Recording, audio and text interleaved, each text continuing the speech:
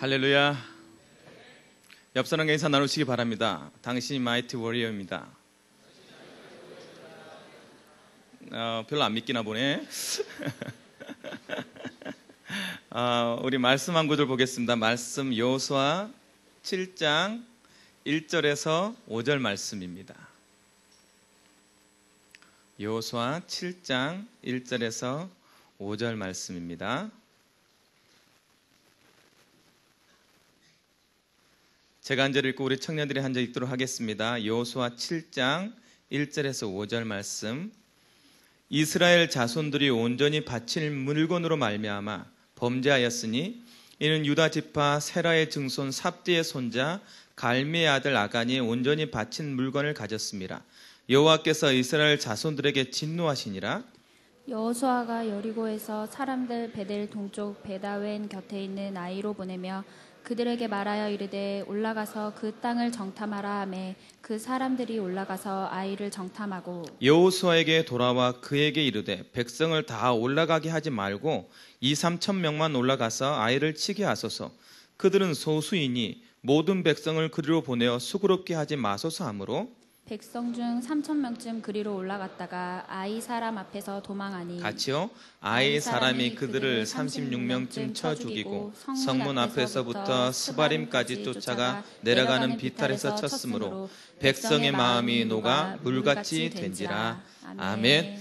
오늘 제목은요. 절대 우선순위를 회복하라. 찬양할 거예요.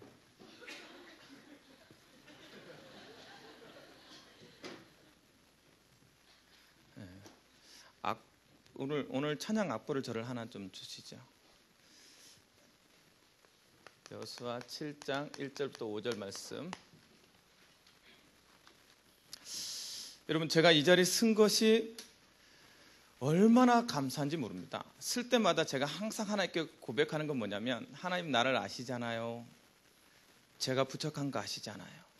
제가 연약한 거 아시잖아요. 이렇게 이렇게 말만 해도 하나님이 나한테 막 힘을 주세요.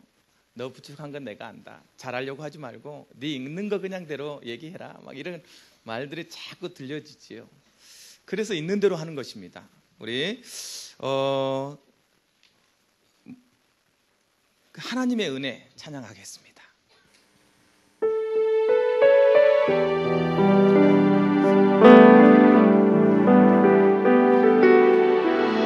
이곳에 있는 우리 자신을 기억하면서 나를 지으시니가 나를 지으시니가 하나님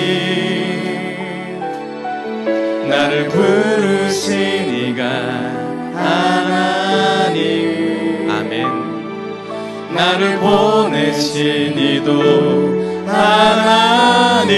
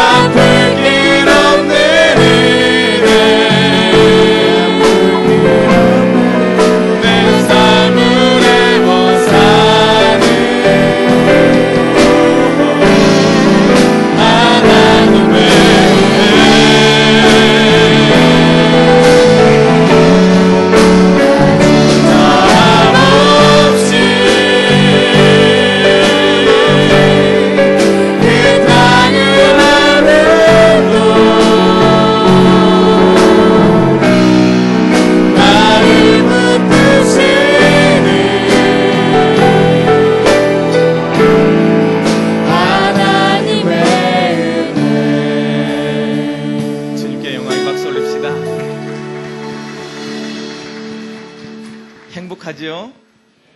아, 우리는 이것 말고 더 행복할 이유가 뭐가 있습니까? 하나님께서 우리한테 뭐라고 말했다고요? 친구다.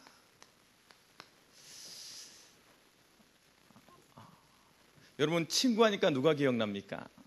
아, 많은 사람들이 떠오르지요.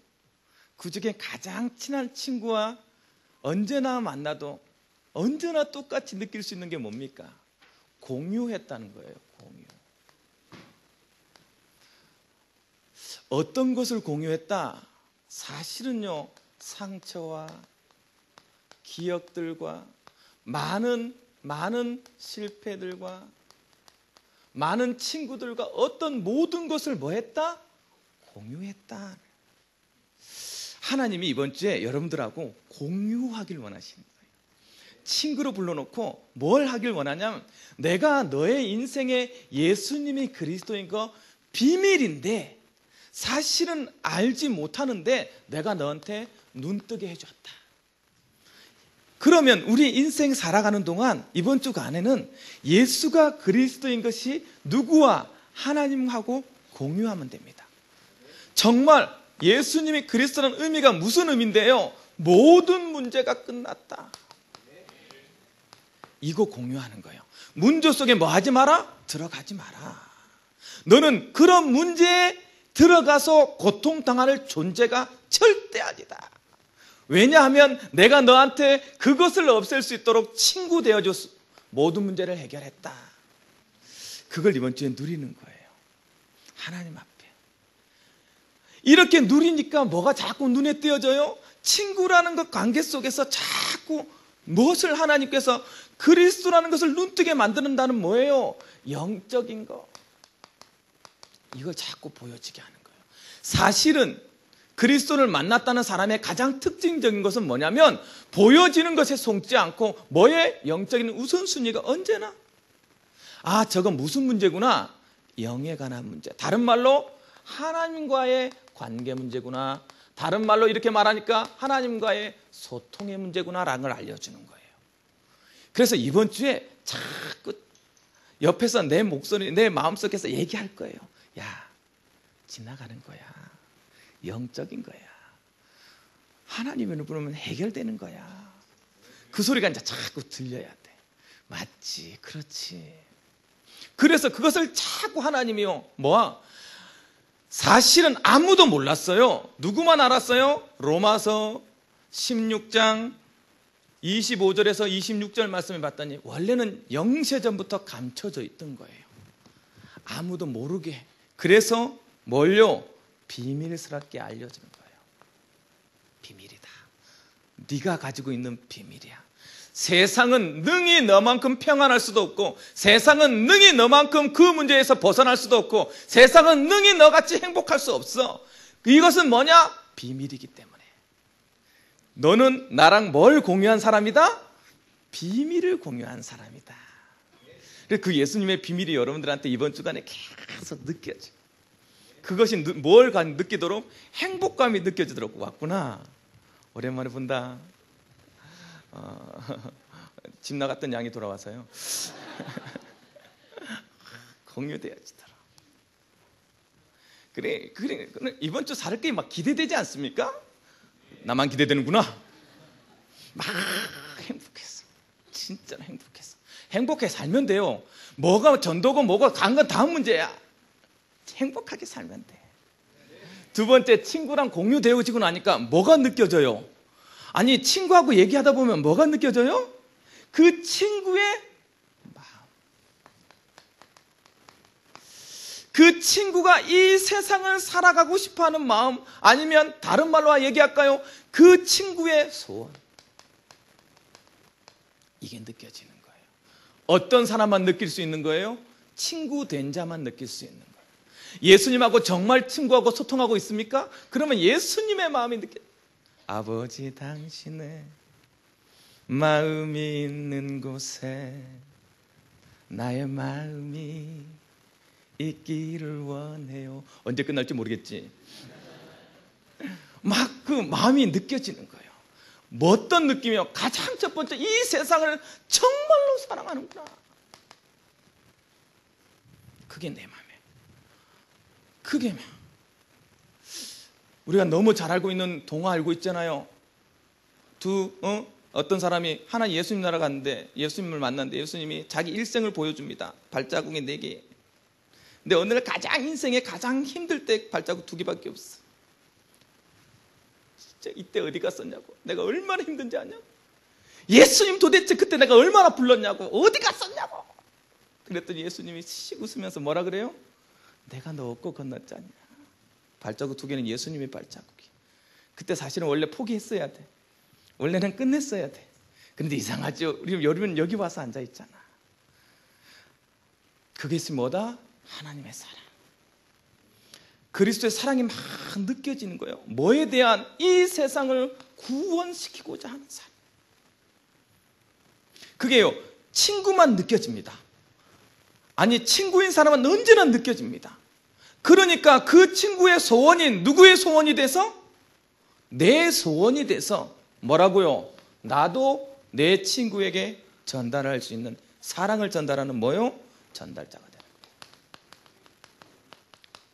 그래서 하나님이 예수님이 언제나 우리에게 뭐라고 질문하냐면 너 내 마음 알지 않냐? 너 나 알지 않냐? 내가 너를 그렇게 괴롭게 하겠냐? 내가 미쳤니? 네가 힘든 게 내가 행복하겠니? 네가 왜 이렇게 힘드니? 무엇 때문이니? 질문했을 때 여러분 뭐라고 얘기합니까? 모르겠어요. 맞아요. 몰라서 당하고 있는 거예요. 하나님은 계획이 있는데 나는 너에게 그런 소원을 알려주고 그 소원에 같이 동참하기를 원했는데 나는 그런 마음이 없어. 그러니까 어떻게 되는 거예요? 고통스러운 거예요. 외로운 거예요. 공허하는 거예요. 오늘 이번 주가 그리스도의 마음이 여러분 마음 되어서 뭐라고요? 사명이 회복되어지는 응답을 누리는 여러분들 되기를 바랍니다. 그렇게 공유 딱 되어지고 나면 하나님께서 우리에게 약속한 것이 뭐다? 우리의 미래예요. 내가 너한테 생명의 열매 맺을 수 있는 모든 것 다 전해주놓게. 그래서 이번 주에 말씀을 붙잡으면서 옆에서 계속 아, 안 들을래, 안 들을래. 그래도 끝까지, 끝까지 얘기하고 있는. 야, 야, 내가 너 사랑한다니까. 사랑, 사랑, 사랑, 사랑. 아유, 아유, 사랑, 사랑, 사랑. 고마워 웃어줘서. 이렇게까지 했는데 안 웃었으면 내가 어떡할 뻔했니? 그 즐거울 수 있도록. 그런 응답이 여러분들이 있길 바랍니다. 그래요. 그렇게 됐을 때 우리는 현장에서 뭘 가질 수 있냐? 절대 우선순위를 가지고 있어. 절대까지 넣었어. 우선순위만도 그런데 절대까지 넣었어. 중요하다. 너무. 왜냐하면 이 마음이 우선순위가 되지 않으면 어떻게 한다? 아간의 실패가 온다. 어디에서? 현장에서. 여러분의 삶 속에서. 많은 사람들이요, 실패하는 이유가 있습니다. 실패 조건이 뭐냐? 가장 첫 번째 교만이에요. 어떤 교만입니까? 내가 할 수 있다. 내가 뭐든지 할 수 있다. 내가 할 수 있는 거예요, 내가. 아이성을 무찌르러 가는 이스라엘 백성들이 작거든? 조그만 성이거든? 아니, 이 정도 내가 할 수 있을 것 같거든? 내가로 갑니다. 여러분, 세상이요. 여러분들한테 항상 말하는 건 뭐냐면, 너 할 수 있다. 좋은 말이잖아요. 너 할 수 있다. 네가 할 수 있다. 굉장히 좋은 말 같지만요. 사실은 인본주의를 빠지게 만드는 큰 사상입니다. 이 우주가 나를 중심으로 움직이고 있다. 그래서 간절히 바라면 이 우주가 움직여서 나의 원하는 것을 들어줄 것이다. 그렇습니까? 천만에 만만해요. 이 우주는 하나님께서 운행하고 있습니다. 내가 하나님의 이름 부를 때 그것이 바뀌어지는 거예요. 그런데 사상은 똑같은 말에 포인트만 달라서 네가 너무나도 중요하니까 네 마음대로 해. 네가 중요한 거야. 그렇기 때문에 너한테 상처 주는 사람은 다 뭐다? 죄인이다. 네가 조금 힘든 것은 다 뭐다? 원수다. 그래서 가정을요 쫙쫙 찢잖아요. 친구 관계를요 다 찢잖아. 신앙을 다 찢잖아. 좋은 말인데 너무나도 중요한 말 같은데 거기에 누가 있어요? 내가.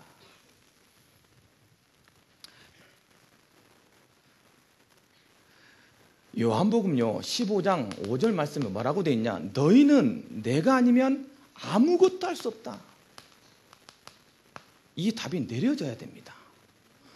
사단이 이렇게 내리지 못하게 해요. 이번 주에 여러분 우선순위를 가지고 친구 대신 그리스도의 소리를 자꾸 듣지 않으면 여러분도 모르게 여러분 체질대로 간다니까. 그 체질이 어디서 온 체질인데요? 여러분 가문에게 온 저주 체질. 여러분도 모르게 경험되어진 많은 실패 체질. 그렇게 가게 돼 있는 거예요. 그러니까 어떻게 생깁니까? 교만이 딱 생기니까 언약보다 뭐가요? 탐심이 딱. 아간이요 뭐라고 고백하냐? 딱 봤더니 너무나도 좋은 옷이 있었습니다. 너무 반짝반짝 빛나는 은이 있었습니다. 그걸 보는 순간 먹음직도 하고 보암직도 하고 부귀에 탐스럽게 할 만한 것이 되어서 그것을 숨겼습니다. 라고 얘기합니다. 맞아요. 자꾸 교만이 딱 되어지는 순간요. 내가라는 말이 들어가는 순간 보여지는 것에 속게 만듭니다. 이상해요. 내가 그렇게 못난 사람이 아닌데 내 스펙에 자꾸 기죽게 만들어요. 내가 조금 스펙이 되는 사람 또한 똑같아요. 한 사람도 내 스펙에 너무 만족스러워서 이 정도면 되지 않냐 하는 사람 한 명도 없을걸? 그것을 갖춰갈수록 더보다 자기보다 뛰어난 사람 앞에서는 기죽게 돼 있는 것입니다. 그렇게 만들어요. 끝까지, 끝까지 욕심내도록. 그게 더 중요하다고 얘기하도록. 그래서 딱 보는 순간요, 아무도 안 봤잖아요. 사실은 그거 해서 어쩌면 헌금하려고 했는지도 몰라요. 그거 나중에 하나님께 바쳐지려고 막 그럴 수도 있잖아요. 왜? 중요한 건 뭐요? 보여지는 그 순간 속았다는 거예요. 탐심. 그런데 성경은 뭐라고 말하고 있습니까? 탐심은 곧 뭐다? 골로새서 3장 5절 말씀에 봤더니요. 탐심은 곧 우상 숭배다 그랬어요. 무섭지 않습니까? 여러분의 욕심이 사실은 우상 숭배예요. 뭐에 대한 욕심이 성공하고 싶어 하는 욕심이 어느 날 예뻐지고 싶은 욕심이 아, 진짜 저도 예뻐지고 싶어요. 그 욕심이 어느 날 우상 숭배가 돼서 나의 영혼을 갉아먹으면 안 돼. 뼈는 좀 깎을 수 있지만 영혼을 갉아먹으면 안 돼. 절대 욕심은 끝이 없습니다. 막 가지면 가지는 대로. 그래서 우상숭배라니까요. 왜 우상숭배라? 하나님 가장 싫어하는 게 우상숭배입니다, 여러분. 사단이 가장 이용하는 게 우상숭배예요. 가졌니? 잡았니? 그거 될 것 같지? 잡았니? 따라와. 끌려가는 거예요. 여러분들이 지혜, 지식, 모든 것을 잡은 것 같습니까? 잡은 것 같다고 느끼는 그 순간 따라와. 따라가야 돼.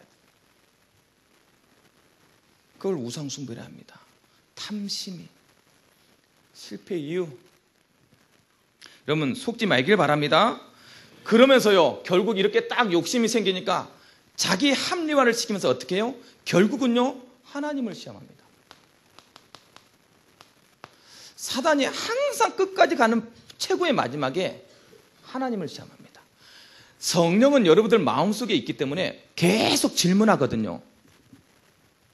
하나님을 위한 거 맞니? 그런데 거기에 자꾸 합리화시킵니다. 아, 이렇게 해서 헌금할 수 있잖아. 아, 이거, 그 많은 사람 중에 혹시, 내가 이거 조금 한 거 하나님이 알겠어? 여러분, 지난번에 목사님이 금요 차례 때그 어, 설교하셨어요. 서원에 대해서. 그럼 아무도 여러분 모르잖아요. 여러분 마음속에 서원한 거. 그렇잖아요. 그게 하나님을 시험하는 겁니다. 모를까요, 과연? 물질을 처음 헌금, 작정 헌금, 아, 이번 주에 감사헌금 얼마 해야지? 라고 봉투에 넣어버리면 끝인데, 넣고 나 하려고 하니까 옆에서 뭔가 조금 얘기를 하네? 그러면요, 한 번 더 생각하면 3만원을 줍니다, 5만원에서. 그러다가요, 내 사정 생각하면 만원짜리 한 장. 만원도 그냥 넣기 힘드니까 어떻게 해요? 몰래 봉투에 천 원짜리 하나 넣어서 넣는 사람도 있어. 여러분, 하나님을 시험하지 마세요. 하나님을 시험한단 말은 여러분 몸속에 믿음이 있다는 소리야. 믿음이 없으면 그런 시험도 안 해. 여기 와지도 안 해. 믿음이 있다는 소리야. 그러면 믿는 대로 가세요. 계속 옆에 나를 알겠냐? 여러분 저는 여기 있는 모르, 사람 모릅니다. 다 모르죠. 어지간하면 알아요 대신. 그런데도요 한 사람이 비면 떠올라요. 어 안 보던 진규 아니니? 안 보이던 진규가 오면 너무 반가워요.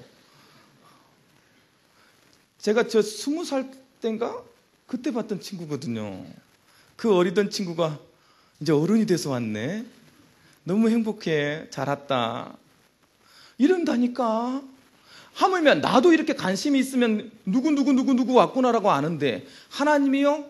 여러분 하나님을 시험하지 마세요. 어디서요? 현장에서. 여러분이 정말로 우선순위라는 것은요. 하나님하고의 뭐예요? 자존심 싸움이에요. 쪽팔리게 진짜 믿는 대로 살든가 아니면 뭐 하든가 포기하든가. 근데 하나님은 포기 안 하거든요. 그게 문제잖아요. 그래서 하나님 이름 가지고 장난치지 마세요. 지금 누가 아간이 그랬단 말이에요. 여러분 이 문 밖에 나가면서 믿음을 딱 접어놓고 다시 사회생활 하십니까? 글쎄요 그게 될까요? 그래서 뭐 해라? 하나님을 시험치 마라. 실패하는 사람 꼭 하나님을 상대로 하는 건데 자기 스스로 생각하는.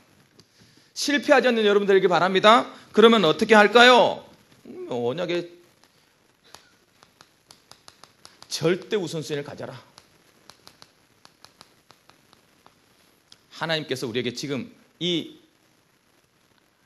아이성을 통해서요, 요거 보여주고 싶어 하는 거예요. 그 작은 성입니다. 말 그대로 보는 대로 2, 3천만 가도 이길 수 있는 성이에요. 아, 어쩌면 여리고를 무너뜨리는 이스라엘 백성 앞에서는 아무것도 아닐 수 있는 성이에요. 지금 그, 그 성에 대한 얘기를 하면서 여러분에게 네가 정말로 생각하고 있는 우선순위가 뭐냐? 이거 질문해 보고 싶은 거예요. 그래서 그런 문제가 왔을 때 여호수아가요 옷을 찢으면서 하나님 죽게 되었나이다. 내가 왜 여기 우리를 이렇게 했습니까? 막 원망합니다. 여호수아가요 맞아요. 실패하는 사람은 항상 그렇게 얘기합니다. 하나님 나한테 왜 이러십니까? 그러게 하나님이 너한테 왜 그랬을까? 내가 너한테 답을 줬는데 그때도 몰라요. 왜 그랬을까? 불신앙의 자리에 가 있으면요. 아무리 얘기해도 몰라요. 아무리 얘기해줘도 수많은 얘기를 해준데 알아듣질 않아. 듣고 싶지 않은 거야. 그래서요. 그렇게 막 엎드려서 하나님 원망할 때 하나님 뭐라고 얘기해요? 왜 여기에 있느냐? 왜 네가 엎드려져 있느냐? 무슨 말이에요? 하나님께 질문하라. 우선순위에 대해서. 네가 정말 있어야 될 곳이 어딘지 질문해라. 모든 것이 뭐다? 하나님과의 관계 속에 있는 것이다. 하나님하고의 문제예요, 사실은. 그것을 자꾸 얘기하는 거예요. 질문해봐라, 그게 하나님과의 관계가 회복되어졌는지. 아담이요, 죄를 지었어요. 창세기 3장 9절 말씀 봤더니 죄를 짓고 나서 가장 첫 번째 한 것이 무엇입니까? 두려워서 숨었더라. 두려워서 숨은 아담에게 나타나서 하나님이 하신 말씀이요. 뭐라고 얘기해요? 아담아, 네가 어디에 있느냐? 네가 왜 숨어져 있냐? 네가 그럴 존재냐? 뭐하여 범죄한 사람의 특징 숨어버려요. 그래서요 하나님께 질문해야 돼요. 어떤 것에 대해서 이 문제가 하나님과의 관계 속에서 어떤 문제입니까? 계속 그거 얘기하는 거예요. 질문하라고. 똑같아요. 왕상 19장 9절 말씀에 왔더니 엘리야가 그렇게 승리하고 나서도 또 힘든 환경에 무릎 꿇어 버립니다. 그러면서 뭐라 그래요? 죽여주세요. 너무 힘들어요. 아, 내 상태가 너무 지금, 아, 하나님 할 만큼 했잖아요. 850명 죽였으면 됐지. 바알과 아사라 섬기는 무상들 다 죽였으면 됐지. 내가 할 만큼 했잖아요. 나 이제 힘들어요. 아, 이렇게 도망 다니기도 싫어요. 그게 로렌나의 고백입니다. 여러분, 일생 살아갈 동안 수없이 이 질문을 하게 될 겁니다. 하나님 열심히 살았잖아요. 해봤잖아요. 그래도 난 오늘 똑같은 상황인데요. 하나님 계십니까? 나 죽여주세요. 그 질문을 하게 된다니까. 그랬을 때 하나님 뭐라 그래요 엘리야한테? 엘리야야, 네가 왜 여기 있느냐? 여러분 불신앙의 자리에 가 있으면 안 돼요. 하나님께 질문하라니까요. 안 되는 상황 속에 들어가 있으면 안 돼요. 하나님께 질문하셔야 돼요. 그래서 하나님께 질문하는 것을 우선순위에 둬라. 영적인 관계를 회복하는데 우선순위를 둬라. 지금 그렇게 아이성의 사건을 통해서 그렇게 회복하고 났더니요. 당연히 하나님과의 관계가 회복되니까 뭐가 정해져요? 우선순위가 정해지는 거예요.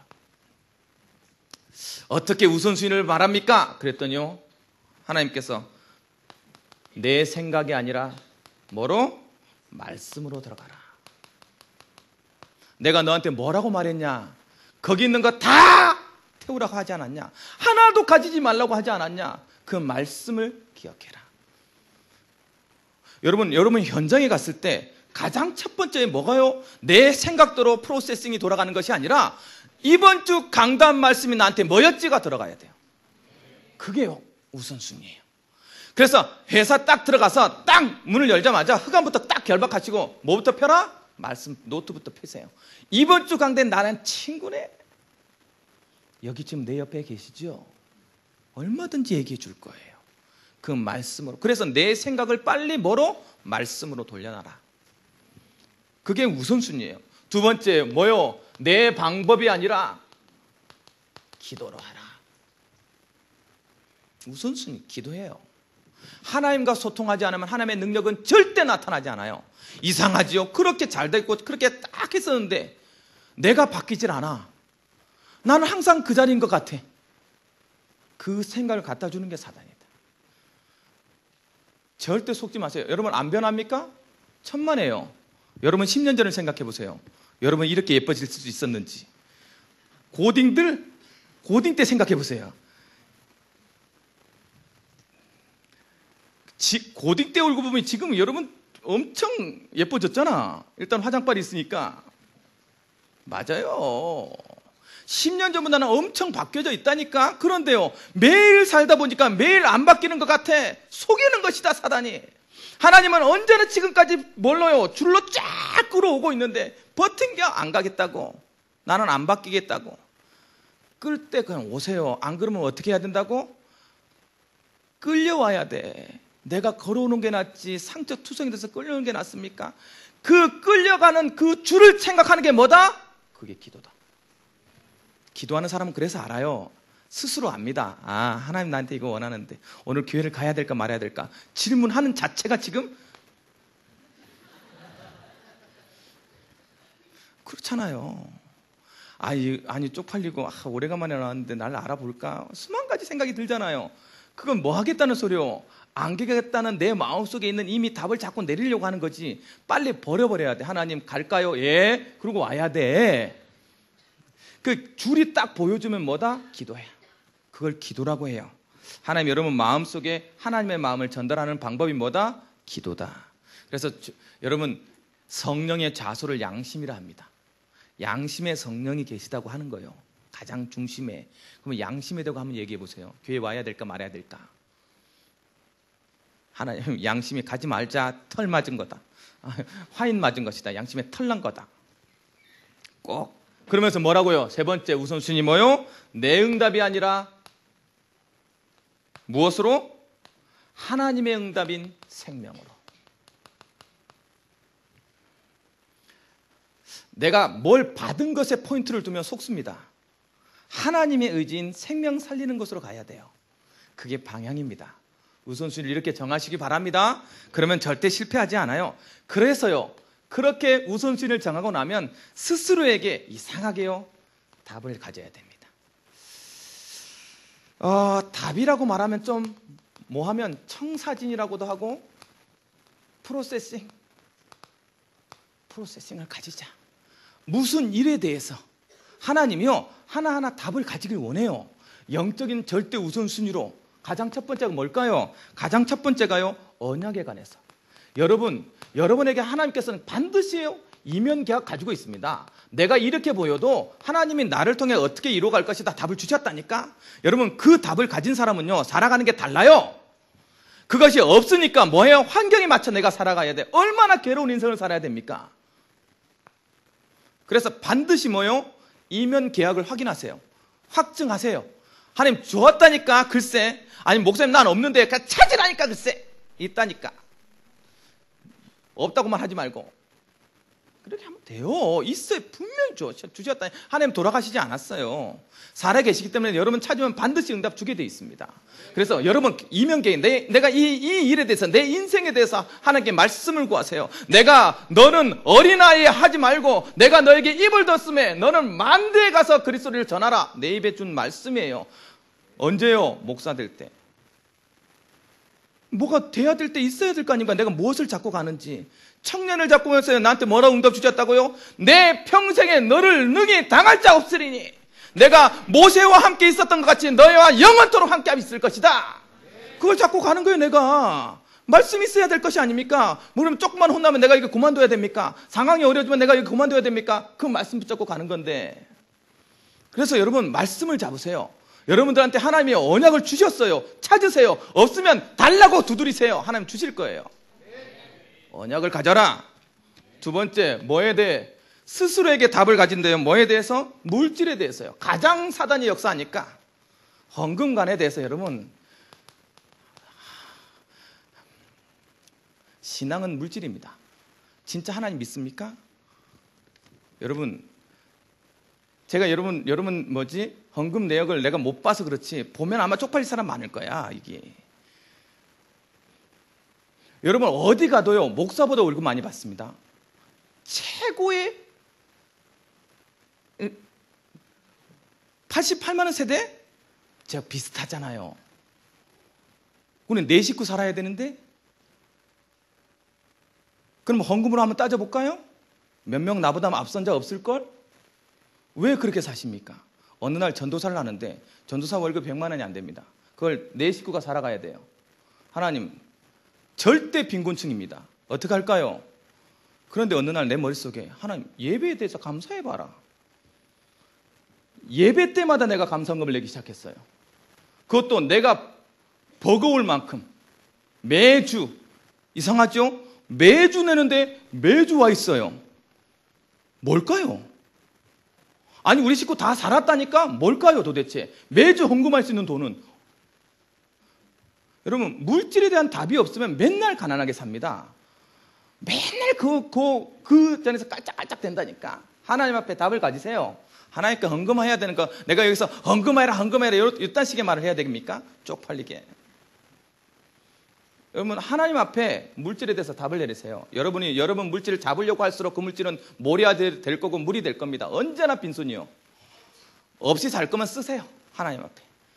똑같이 어차피 없을 건데. 그러고 나니까 속 편하더라고. 세 번째, 뭐에 대해서? 관계에 대해서. 여러분, 인간관계에 대해서 답 가지세요. 사실은 살아가는데요. 가장 중요한 게 인간관계예요. 뭐가 남을까요? 사람 남아요. 그걸 전도라 해요. 그래서 사람한테 잘하세요. 어떻게든 관계를 통해 하나님께 어떻게 답을 내려야 될지, 무슨 관계가 오면 내가 프로세싱을 어떻게 돌릴지 오늘부터 고민하세요. 그게요, 어마어마한 힘이 됩니다. 하나님 여러분한테 범사의 지혜를 주실 것입니다. 인간관계에 대해서, 어떤 삶의 관계에 대해서, 이 사람을 어떻게 해결해 갈 것고, 이걸 어떻게 이끌어 갈 것인지. 여러분, 한 번만 생각해 보세요. 좀 부족하면 눈치라도 한 번 있어 보세요. 내 위에 가, 내 과장님이 나를 신뢰하지 않아. 그러면 그 사람 하나 내가 못 바꾸면 거기서 내가 진급하고 임원할 수 있습니까? 천만에요. 나 같아도 누구한테 질문할 때 그 과장한테 질문해서 그 사람 어떻습니까? 라고 질문합니다. 근데 그 사람이 인간관계가 안 됐어. 아이, 참. 그 사람요. 끝났습니다. 절대 스카우트 안 됩니다. 아니, 아니, 조금만 생각하면 나오는 답 아닙니까? 내 옆에 내 동료들한테 내가 신뢰를 인정을 못 받아. 얘 맨날 교회 다닌다고 이런 찍찍찍찍 대고 있어. 어떨까요? 반드시 프로세스의 답을 가지세요. 아, 하나님이 나한테 원하시는 것이 회복이구나. 그걸 우선순위로 회복하는 거예요. 그래서 하나님이 여러분에게 우선순위만 정해지면 이 답을 주십니다. 목사님, 어떻게 주는데요? 아, 여러분 각자 가져야 돼. 난, 내 거하고 다르잖아, 인생이. 여러분 각자한테 줍니다. 각자 답을 받으시기 바랍니다. 결론. 이렇게 답을 가진 사람은요, 지금부터 나 스스로를 뭐다?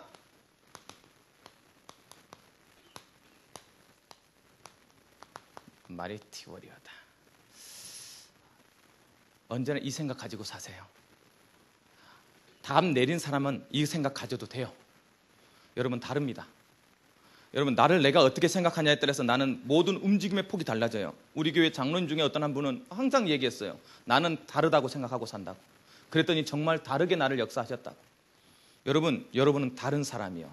그리스도의 큰 용사다. 그걸 딱 생각하고 사세요. 이번 주 내내 나를 내 친구가 누구냐에 따라 나도 높아지는 거 아닙니까? 내 친구가 누구라는 소리예요, 지금? 예수님이라는 소리요. 어디 가서 우리가 기죽고 살 필요가 있어요, 없어요? 당당하게 사세요. 내 친구가 대통령이라고 생각해 보세요. 얼마든지 당당하게 살잖아요. 똑같아. 내 친구가 지금 누구라는 소리예요? 예수님이라는 소리예요. 그래서 나는 큰 용사예요. 나 때, 나의 나담 때문이 아니라 나의 예수님의 친구 되심 때문에 나는 뭐다? 큰 용사다. 이번 주는요, 자신있게 살아가세요. 나는 마이티 워리어다. 딱 답을 가지시기 바랍니다. 이, 이것을, 이 정체성을 유지하려면 뭐 해라? 은혜를 순수하게 받아라. 은혜의 순수성을 회복해라. 은혜 속에 들어가면 돼요. 나의 나 된 것은 하나님의 은혜다. 은혜만 회복하면 돼요. 은혜 회복하면 하나님께서 뭐라고 하셔요? 스스로에게 이런 은혜를 통해서 힘을 얻도록 여러분을 독려하실 것입니다. 성령의 동료를 받으셔서 여러분 우선순위를 회복할 만한 힘이 있는 귀한 한 주간이 되길 주님의 이름으로 축원합니다. 기도합시다. 사랑의 하나님 감사드립니다. 오늘 말씀을 통해서 우리가 누군지 다시 한번 생각해 봅니다. 현장에 나가서 절대 우선순위 놓치지 않도록 하나님께서 역사해 주옵시고 저 불신자들 속에 살아가면서 보여지는 것에 속아서 오늘도 고통 속에 문제 속에 살아가지 않는 청년들 될 수 있도록 축복하여 주옵소서 예수님의 이름으로 기드리옵나이다. 아멘.